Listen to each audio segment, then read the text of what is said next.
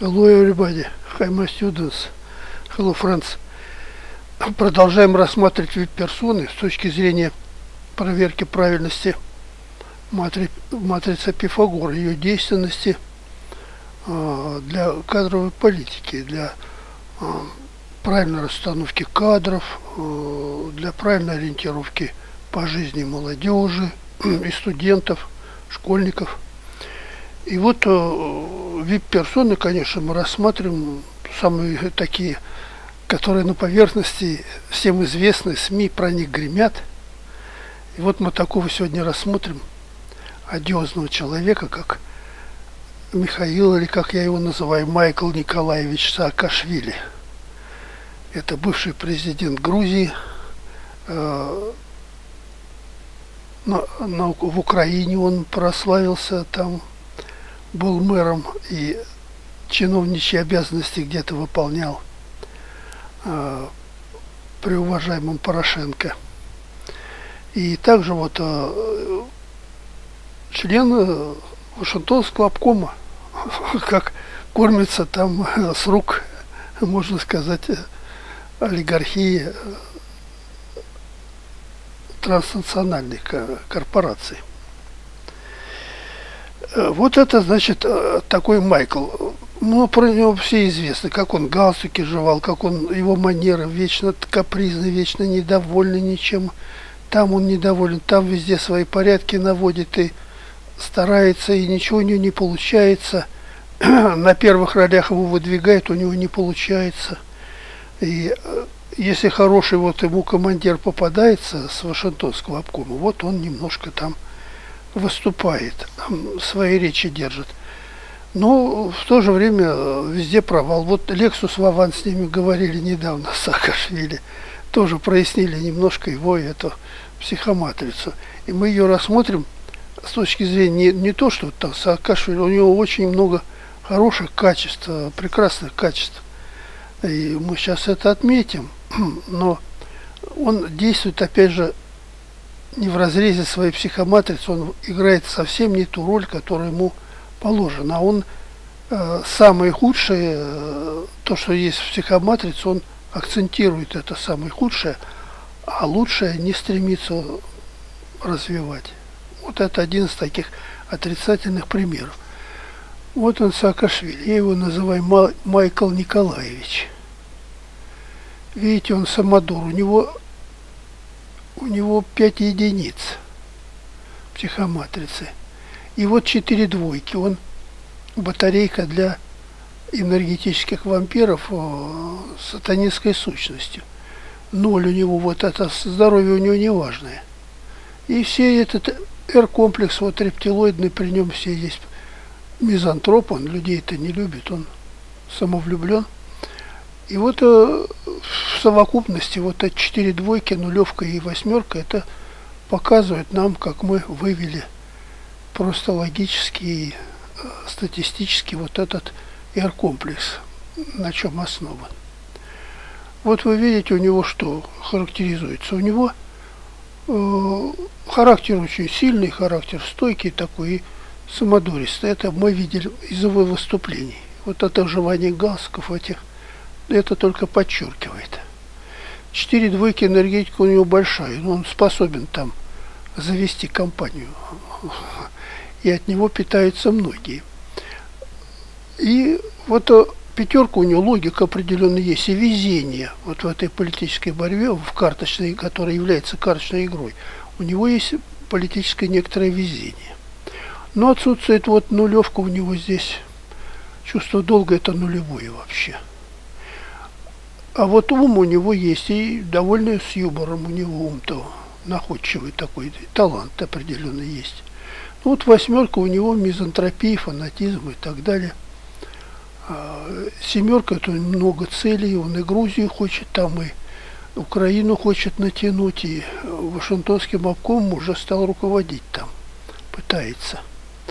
Но сейчас вот он стал бомжом, лишен украинского гражданства. О чем и говорится вот это который подтверждают мудрые китайцы. Значит, что это? Самодур, нет чувства долга, слабая нулевая мотивация, здоровья нет. Обслуживает энерговампов с сатанинскими наклонностями. Мизантроп-фанатик, одержимый. Завышенная самооценка.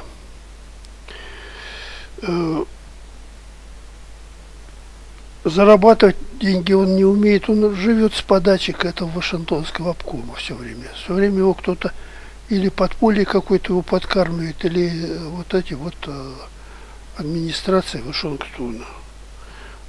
С рук кормится человек. Э, дальше. Везение в карты есть, но добродетель отсутствует. Море целей распыляется. Должен работать физически. У него одна шестерка всего в матрице.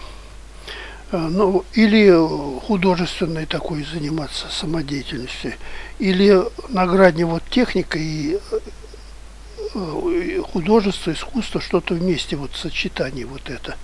Типа как авиамодели там, или вот эти, как они запускаются, дроны конструировать, это он хорошо бы подошел. Вот, э, если заменить физическую работу. Или как физический работник он должен свое здоровье поддерживать физической работой. Э, что касается друида, то они его предупреждают, чтобы он не, сильно не обжирался, потому что он желудочно-кишечный свой желудок может испортить и заработать яжу желудка, тем более он все время мотается и разной пищей там питается, непонятно какой и не всегда ограничивать себя в пище. А, вот, вот. Поэтому вот у нас много сейчас таких ЖКТшников. А, ЖКТшник у нас Макрон. Сейчас из тюрьмы выпустили второго, я про него потом где-нибудь расскажу. Удальцова тоже ЖКТшник, он еще до тюрьмы был ЖКТшник, желудочно-кишечный трактористы. Вот, э, желудочно-кишечные трактористы, сейчас вот это вот у них э, зуд какой-то появился, они все полезли в политику. Ну, надеяться на них, видите, нельзя. Так же, как вот на эту, который вышел Удальцов, то ну, ясно, что у него матрица, она не, не на руководителя, у него энергетики нету. А у этого слишком энергетика, она даже на вампиров хватает. Хотя здоровья нет. Э, э, по китайцам он красный огненный архар, или как овца. Но я не, не хочу оскорблять, как говорится, потому что э, в уголовном мире не принято называть человека козлом. Но такой астрономический знак-то в Китае принят, и там в год козла, это в год козы, или там овцы, что является синонимом. Вот родился он этот вот персонаж Майкл Николаевич-то. Э, вот э, при плохом раскладе он может закончить свою жизнь э, под мостом, как говорится. Почему? Потому что он сейчас уже бомж, а дальше, если он себя будет плохо вести, он может так и закончить под мостом.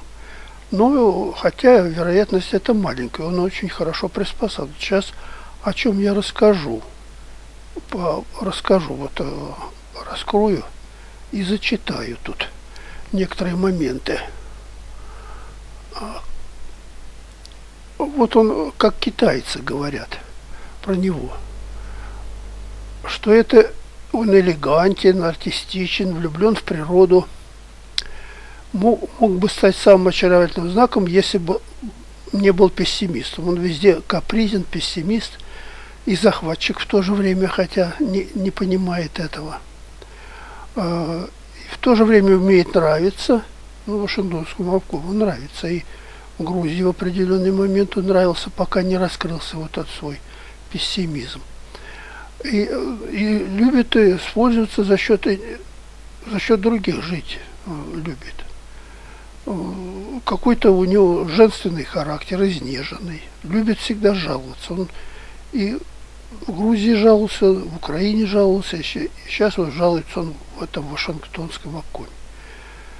Э, ей нравится, когда они говорят, ее руководят, ей советуют, принимая ее вечные колебания, уловки и жалобы. Она никогда не знает, какое направление выбрать и полагается всегда на других То есть он ну, руководством полностью идет как зомби у этого обкома Вашингтонского. Говоря о ней, нужно сказать, что у нее безмятежный пессимизм. Ее манеры мудрые, однако, но характер капризен. Часто бывает он религиозен. А, но в то же время будет увлечен всем фантастическим, сверхъестественным, оккультным, гороскопами, склонен к благотворительности, охотно делится с другими, ну, не своим, а вот, э, что ему не принадлежит, он охотно делится. Следует сказать, что у, у него, у этого архаровца, нет никакого чувства собственности. Народная мудрость говорит, что коза, пасущаяся на хорошем лугу, будет спокойной и послушной по сравнению с козой, пасущейся на лугу с плохой травкой.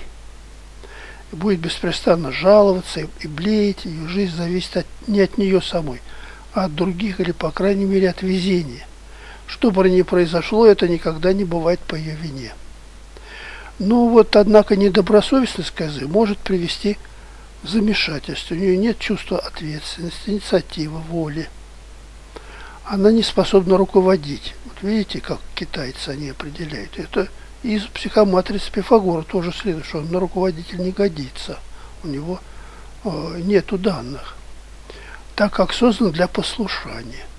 И при хорошем влиянии может преуспеть, даже блистать в каком-либо виде искусства – ну вот, видимо, влияние на него хорошее было в Грузии. Он одно время вел себя хорошо и имел успех, и достиг, достиг определенного успеха. А потом у него сменил неожиданно руководителя, сменились. И сориентировали его в другое место, на Украину. А, а, и дальше, и так далее, и так далее. Он все время понижал свой рейтинг. Он может быть хорошим специалистом, успешно выполнять работу, которая одновременно считается с техническим и артистическим мастерством. То есть и техника, ну, какие-то вот искусственные модели и так далее. Может быть даже вот кинематография. Там и техника, и артистизм, все надо. Коза умна, она никогда не будет играть первую роль. Для этого, э, для этого ну, это для нее и лучше. Ее существо, наполнено фантазиями, нуждается в твердой воле. То есть он такой же наподобный человек-то.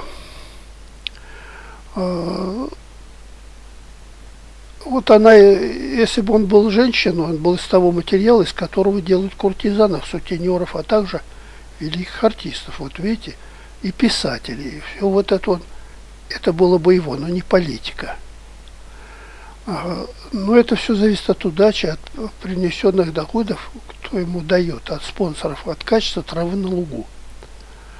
А, но пусть она избегает коммерции. Никогда не будет в войне победителем. Ну, он всегда проигравший, командиром или даже солдатом. При плохом повороте судьбы может кончить жизнь под мостом ну, для нее не будет серьезных проблем там, где речь идет об одежде, столе, комфорте, так велика ее способность стучаться в нужную дверь. Если у вас нет, и у вас есть благоустроенный загородный дом, вот в Вашингтонском обкоме, посещаемый артистами, избегайте впускать туда козу и позволять ей устраиваться там. Вы можете от нее не избавиться. Вот там, там Вашингтонский обком еще, как говорится, вплакнет, а коза ведет и в расстройство большое, это топком. Коза часто будет сталкиваться с любовными проблемами, но я об этом говорить не буду. У него с, с сексом там все в порядке, там и с семейным. Требования большие у него к семье, и к себе тоже. Там в семье. Обычно они однолюбы бывают. Но если тогда в депрессию, если там разведется в депрессию, впадает. Ну вот под руководством этой американской жены он одно время хорошо себя вел. А, ну вот сейчас, видимо, эти вожжи ослабли или другое направление ему дали. А вторая э, фаза жизни козы затронет ее чувства. Но будет удачной третья. Вот сейчас у него, видимо, удачная третья фаза начинается. Он э, вступил в антагонизм с Порошенко – и разыгрывает он опять эти две семерки свои удачный карточный расклад. Тем более по Вашингтонский обком уже Порошенко собрался сносить. А он, не обременяя себя материальными заботами, имея советчиков, может иметь успех. Ну, там советчиков много в Вашингтоне и очень умные есть. А матрицы у них хорошие. А в области изящных искусств, но он как артист иногда на первый взгляд оказывается удачнее, чем у других, но часто бывает беспомощно перед жизнью, так как э, застенчивый склонен к пессимизму, затрудняется в принятии самостоятельных решений. Э, вожди из них выходят редко, они даже не отличаются красноречием, но убеждения свои отстаивают и любят свое дело. Денег имеют обычно достаточно, ценят удобства с ними связанные – рассудительны, мягкие, доброжелательны, обладают хорошим вкусом. Вот э, такие вот э, характеристики дают ки мудрые китайцы, э, которые не противоречат у нас, э, не против, э, полностью не противоречат. А друиды, друиды те, здесь э, по цветочному календарю, он лотос, символ веры и чистоты. В наших краях лотос – это экзотика, не более того. Хотя благодаря экзотичности, неординарности мышления, у него неординарное мышление, и поведение, ему много, это Майклу сходит с рук. Ну, другого уже на его месте там замочили давным-давно, а он везде выходит сухим из воды. Ему следует быть более гибким по отношению к людям – всегда опрятен, держит себя в рамках приличия. Ну, иногда галстук жует. Не любит ничего экстравагантного. Ну, как, козы, они жуют чего-то, и он галстук жует. Предпочитает классику, хотя сам того не подозревает способность прогрессивным, способен прогрессивно мыслить. У него были успехи определенные в Грузии в борьбе с коррупцией. Преданный друг. В семье несколько консервативен, влюбляется один раз на всю жизнь. Поэтому страдает от несчастной любви, если удар силен, депрессия длится очень долго. Вот, э, как говорил я, ему следует беречь желудок, э, ограничить себя в еде, иначе язва желудка испортит ему всю жизнь. Вот э, а под, по древесному календарю он бук как бы считается, дерево бук. Красивый, он относится обычно а, тем, кто доживает до глубокой старости, тот он будет долгожителем, сохраняя все качества, присущие молодости. Ему удается сохранить хорошую форму, статный силуэт, ловкость и гибкость движений. Всегда ухожен, не чуждается некоторого кокетства. Если попадет в благоприятные условия, то ему удастся достичь успеха в любой области. Проявляет ловкость и находчивость во всей ситуации. Полон различных планов, ну вот мы и говорили, что много у него целей – а, который умеет успешно реализовывать, но не всегда. Умеет неплохо организовывать свою жизнь. Случаются с ним и припадки щедрости, которые обычно он расчет, э, хотя обычно он расчетлив и безошибочно организует свой бюджет. Не очень любит давать взаймы, делиться своей собственностью, расходует ее экономно. Он порядочен, обладает многими солидными качествами, всегда взвешивает э, все за и против, никогда не полагается на волю случая. Ну, и про любовь я не буду здесь говорить. Интеллигент, она обладает организаторскими способностями, здоровым рассудком, выраженный материалист. Прежде всего хочет быть богатым. Вот он стремится, у него одна цель, это потому что деньги не умеет зарабатывать, а чтобы свалилось богатство откуда-то а потом, если можно, счастливым. Черты, рожденные под этим знаком букв вдумчивость, порядочность, организаторские способности, реализм. Ну, я не буду говорить, кто родился под знаком Бука, но среди них есть Пучини. И в то же время есть Сталин. Видите, вот такой, еще такой грузин. Но эти сталинские черты у него очень малы, потому что другие характеристики там совсем отличаются – восьмерок совсем нет, у Сталина было три восьмерки. То есть матрица Пифагора более четко определяет а, психотип человека. Вот такой у нас э, наш уважаемый э, товарищ Саакашвили. Как видим, мы еще раз вот э, по психоматрице. Видите? Эту психоматрицу мы запомним и увидим, что это не политик, это скорее оперный певец. Определенный. Если им кто-то будет руководить только, тогда он будет просто как марионетка передвигаемый. Ну, как сейчас он вот руководимый этим Вашингтонским обкомом. Вот такие вещи. Еще раз подтвердили мы, что психоматрица Пифагора полностью, полностью он лег в нее прямо в эту психоматрицу. И можно было уже в детстве ему вот это нарисовать и сказать, что Миша, давай-ка займись или там моделизмом, или там какими-то искусствами, на, на, точными, такими скрупулезными вещами. Допустим, там вот искусство программирования, вот оно, вот был бы из него идеальный человек, он скрупулезный, всякую такую скрупулезную работу мог бы выполнить хорошо. И вот э, искусство программирования, вот в разделе как книга Кнут пишет такой про искусство программирования, то вот он бы хорошо этим овладел, это было бы его э, и хлеб, и, и масло, и еще сверху икра черная. Все, э, это мы с ним закончили. Доброго вам здоровья, готовьтесь к 1 сентября, э, покупайте все себе необходимое оборудование, книжки, учебники, ручки, тетрадки. Всего вам доброго.